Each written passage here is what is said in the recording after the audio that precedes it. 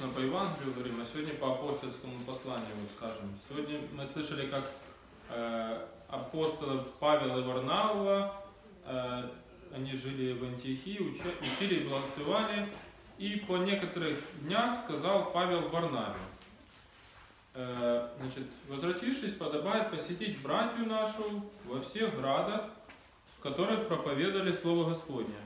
Как они там живут?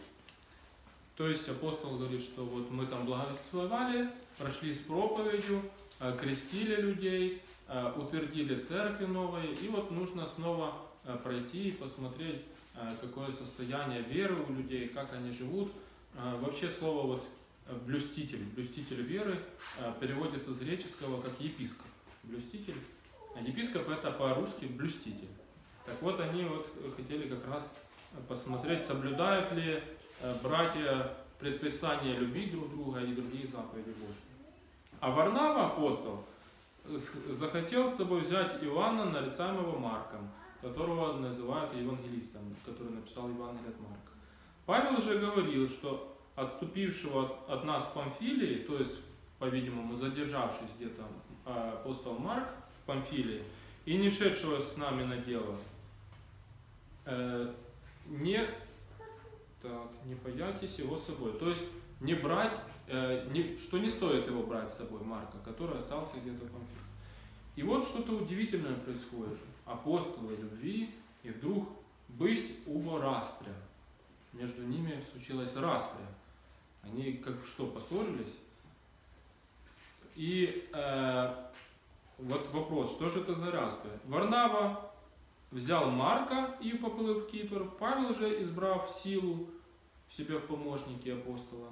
Изыди предан благодати Божией от братьев, прохождавших Сирию, Киликию, утверждает церкви.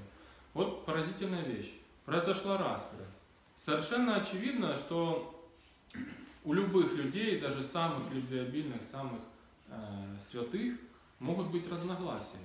Один считает э, такой, с бытовой точки зрения, может быть, даже не с духовной, что нужно там вилку э, класть слева, а нож справа. А другой говорит, нет, надо нож справа, а вилку слева. И вот обычных людей распря заканчиваются всякими анафемами, э, всякими проклятиями, плохими словами, раздражением, э, обидами вечными, которые никогда не заканчиваются. А даже если и ты улыбаешься, а потом все равно э, будешь все время вспоминать, как ты так посмел поступить. Распри э, обычных людей Э, вызывают множество негативных эмоций, которые переходят в депрессии, какие-то уныния, печали и э, все прочее вот, ужасное, что может произойти от распри. У апостолов же мы этого ничего абсолютно не видим. У них произошла распря, но они не обиделись, не разозлились, не поругались, не пообзывали друг друга, никак э, друг другу не причинили никакого зла.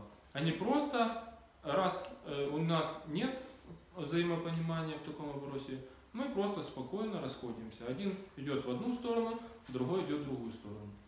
Вот такой маленький, казалось бы, эпизод, но очень поучительный, что распря или расхождение во взглядах э, э, совершенно не является поводом для того, чтобы друг друга осуждать, ненавидеть, обижать, обзывать эта распря всего лишь может стать свидетелем того, э, какая наша любовь может быть независима а, от никаких разногласий. Вот всем желаем такой любви, чтобы в распрях, э, в каких-то недопониманиях, особенно какие самые у нас большие распри, не, не, знаете, не в том, чтобы там вот какое-то серьезное дело, да, а в самых мелочах в самых бытовых таких совершенно ненужных вопросах, где там положить, э, я не знаю, книжку, где полочку поставить, где тумбочку, чтобы стояла, какой канал включить по телевизору.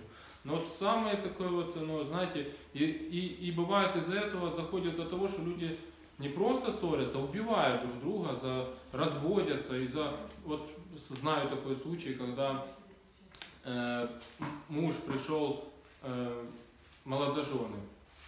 В туалете надо здесь полотенце повесить. А жена говорит, в этом доме, который построил мой, мой отец, ты, не, мол, не будешь вешать там полотенце, где ты хочешь. Все, люди развелись.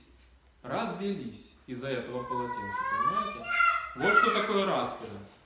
Казалось бы, это полная ерунда, с одной стороны. А с другой стороны, люди из-за этой ерунды, они пытаются самоутвердиться, доказать свою значимость, доказать, так сказать, э, победить в своей гордости. И зло побеждает в таких лю- семьях, в таких людях. Но у христиан так не должно быть. У нас должно всегда побеждать любовь. И в любой ситуации, в которой возникает недопонимание, мы всегда себе должны задавать такой классич- классический вопрос. Я хочу быть э, правым, э, хочу добиться справедливости или хочу быть счастливым. Вот, всем желаем счастья. Аминь. Спасибо, спасибо.